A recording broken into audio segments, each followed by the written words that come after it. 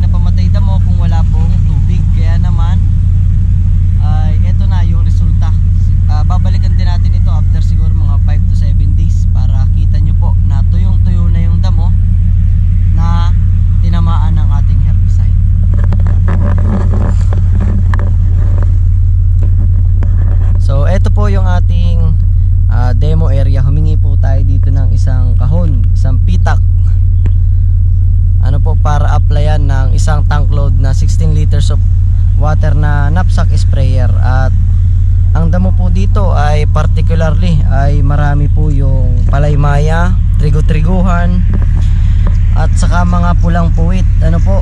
So ngayon po ayan o, kung mapapansin nyo napakaraming damo ano, dito sa may gilid lalo na sa may pilapil. Ayan o tututukan ko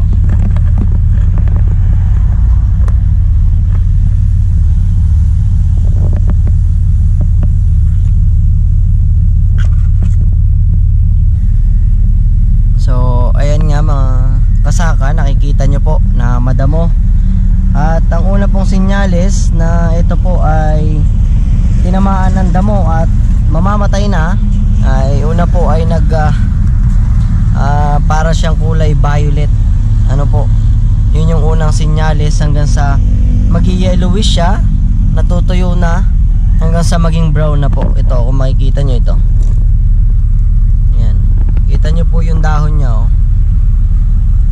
Ah, nag-yellowish brown na siya ibig sabihin po ito po ay tinamaan. Ano? At siguro mga 5 days ito patay na to. Lalo na po at nakababad sa tubig. Ito tingnan natin to. Yan, nung hinigit ko po putol na siya. So ibig sabihin maganda yung tama ng ating pandamo. Ito naman medyo malalaki. Ayan oh. Ito yung kulay niya. Ibig sabihin po, yan po ay tinamaan ng ating pamatay damo. Hindi ko lang hindi niyo lang po makita sa personal pero kung nandito po kayo nakatayo, kita niyo yung bandang gitna na madamo eh naninilaw talaga. Hindi lang tayo makalapit kasi unang-una maputik at saka may tubig po siya. Kaya dito lang po tayo humahanap ng ah, damo sa gilid-gilid. Ayan o ito. So ayan. Yan po ito. Ito po yung mga damo na tinamaan at mamamatay na. Tamang tama po yung pagpapatubig niya. Mga 5 cm po ito. Saktong nakalubog yun katulad po nito. Yan ito. So yan. Kita nyo po, patay na siya. Tapos babad pa sa tubig. Kapag po walang tubig ay posibleng makarecover pa itong mga damo na ito. Kaya talagang kailangan po natin ng patubig 2 to 3 days matapos na applyan. Ayan, meron pa dito, tingnan natin.